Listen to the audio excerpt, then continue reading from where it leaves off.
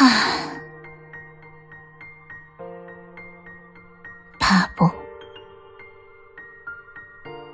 아니요, 아무것도 아니에요.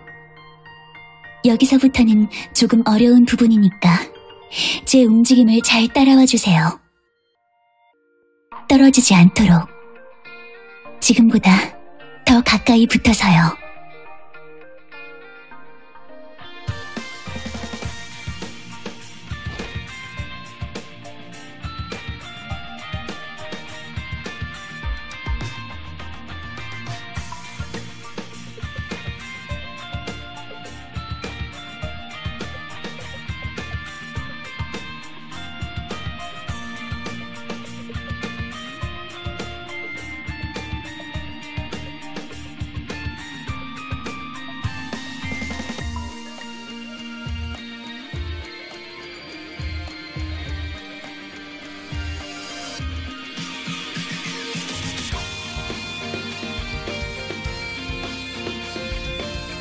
저, 언니?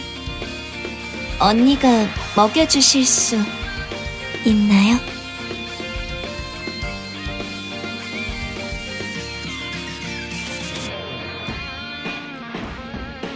잊지 못할 날이 되겠군요.